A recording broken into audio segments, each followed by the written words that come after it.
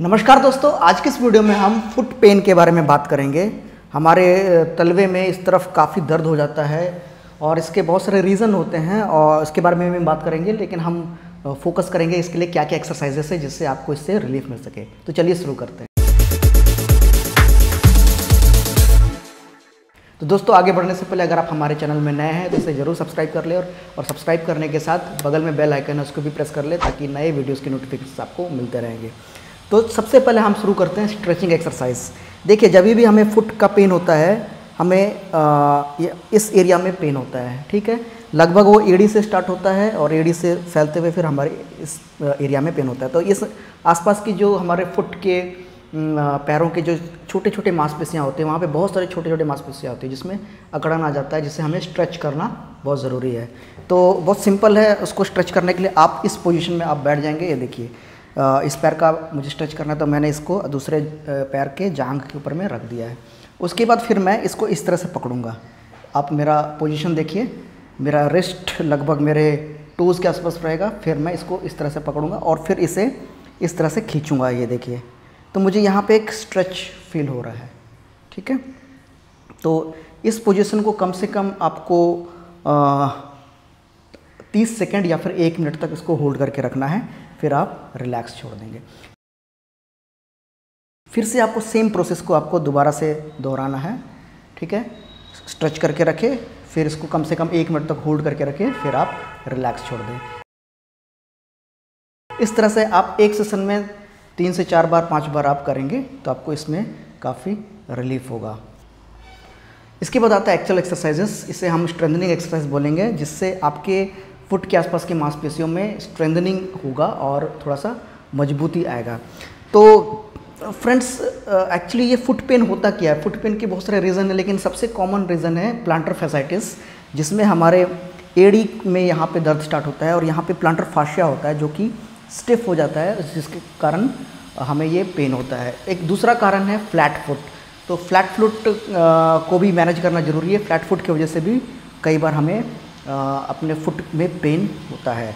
तो flat foot के लिए क्या करेंगे? हमें शू मॉडिफिकेशन थोड़ा बहुत करना है, उसके बारे में हम इस वीडियो के आखिरी में चर्चा करेंगे। तो चलिए हम एक्सरसाइजेस पे फोकस करते हैं। तो जो सबसे पहला एक्सरसाइज है, उसमें आप दोनों पैरों को फुट को इस तरह से बगल में रख लेंगे, फिर आप इसको इस तरह से करेंगे। ठीक है? ये वाला एक्सरसाइज इसे हम लोग इसे अगर इसको और भी अच्छा करने के लिए आप क्या करेंगे कि साम इस, इधर में एक ठो तौलिया को बिछा देंगे। आ, मैं आपको करके दिखाता हूँ। तो मान लीजिए मैंने इस तौलिया को इस तरह से बिछाया है। फिर मैं इसे इसे इस तरह से कलेक्ट करने की कोशिश करूँगा। ये देखिए मैं इसे अपनी तरफ़ इसे कलेक्ट कर रहा हूँ।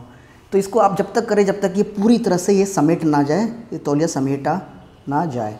तो इससे भी आपका फुट का मसल्स का स्ट्रेंथनिंग होगा। उसके बाद उसके बाद जो दूसरा एक्सरसाइज है उसमें देखिए मैं फुट अपने फुट को यहाँ पे एड़ी से जोड़ लिया हूँ और अपने फुट को बीच में यहाँ पे एक एंगल बना दिया हूँ। ठीक है? फिर मैं इसको इस तरह से स्कूप करूँगा। ये देखिए।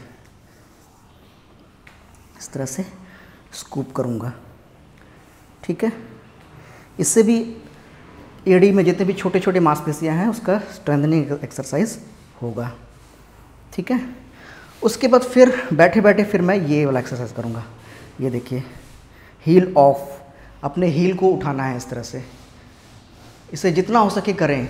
इसका कोई गिनती नहीं। जितना भी एक्सरसाइज है, उसको कम से कम मिनिमम आपको 20 से 25 बार करना है, लेकिन जितना ज़्यादा करेंगे, उतना अच्छा है।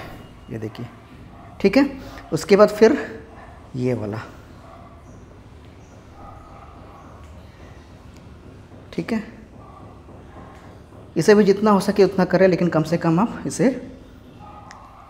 बीस से पच्चीस बार आप ज़रूर करें।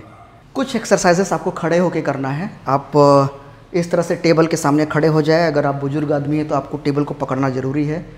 कहीं आप इम्बेलेंस होकर ना गिर जाए तो इस तरह से आप खड़े हो जाएँगे।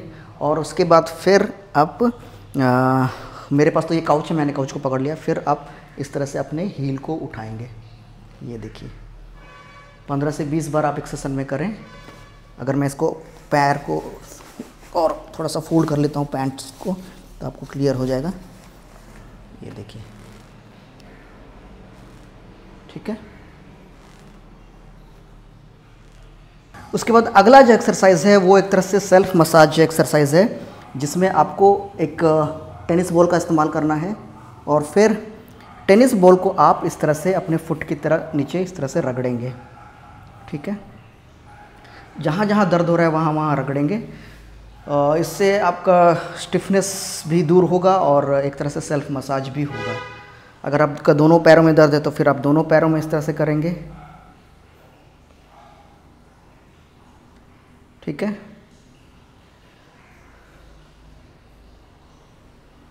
इसे जितना हो सके उतना आप करें। इसका इसका भी कोई लिमिट नहीं है। आप एक सेशन में लेकिन कम से कम पाँच मिनट दो से पाँच मिनट तक आप ज़रूर करेंगे। ठीक है? ये सब एक्सरसाइज के बाद आपको आ, मैं आपको रिकमेंड करूँगा कि आप सुबह सुबह आसपास में कहीं पे घर के आसपास कहीं बालू अगर जमा है तो वहाँ पे बालू में आप नंगे पाँव चलेंगे। जितना हो सके 10 मिनट 15 मिनट आधा घंटा आप नंगे पाँव बालू में चलिए जिससे आपका अगर फ्लैट फुट है तो फ्लैट फुट में भी करेक्शन होगा साथ साथ में आपका फुट पेन भी इससे धीरे धीरे इससे आपका दूर हो जाएगा। और उसके बाद फिर अगर आपका फ्लैट फुट है तो मैं आपको बता रहा था शू मोडिफिकेशन तो जूते के अंदर में एक्चुअली एक हमारे फुट में यहाँ पे देखिए एक आर्च होता है मीडियल आर्च जो कि फ्लैट फुट में क्या है, ये आर्च कोलैप्स हो जाता है और ये फुट जो है पूरी तरह से फ्लैट हो जाता है। तो जब ये आप जूता पहनेंगे तो उसके अंदर में एक मीडियल लॉन्गिट्यूडनल आर्च सपोर्ट आता है जिसका लिंक अगर आप खरीदना चाहते हो तो मैं डिस्क्रिप्शन में दे दूँगा, वहाँ पर जाके आप खरीद सकते हैं। उस मीडियल लॉन्गिट्यूडनल आर्च सपोर्ट को आप अगर आप जूते में रखेंगे और उसको रेगुलरली अगर आप उसको पहन करके अपना ड्यूटी करेंगे या फिर आपका अपना प्रोफेशन को प्रैक्टिस करेंगे तो धीरे धीरे आपका दर्द में भी फ़ायदा होगा और साथ साथ में आपका फ्लैट फुट का जो समस्या है, उसमें भी आपका काफ़ी मदद मिलेगा। इसके साथ साथ आप जब आप दिन भर का काम करके जब आप घर आते हैं तो आप डेली घर आने, पहुँचने के बाद पाँव को, अपने दोनों पाँव को गर्म पानी में डुबोए और उससे आराम उसको एक रिलैक्स करने के लिए छोड़ दें। गर्म पानी का सेक, से काफ़ी आपको आराम होगा। अगर आप उसमें थोड़ा सा नमक भी डाल देते हैं तो उससे ज़्यादा उसका असर और ज़्यादा बढ़ जाएगा। इसके साथ साथ आप TENS T E N S transcutaneous electrical nerve stimulation का भी इस्तेमाल कर सकते हैं। इसके ऊपर मैं अगला वीडियो में लाऊँगा इसको कैसे इस्तेमाल करते हैं। आ, उससे भी आपको काफ़ी रिलीफ होगा लेकिन एक्सरसाइजेस बहुत ज़रूरी है। जितना भी मैंने लास्ट में जो टिप्स बताया है वो एक्सरसाइजेस के कॉम्बिनेशन में होगा।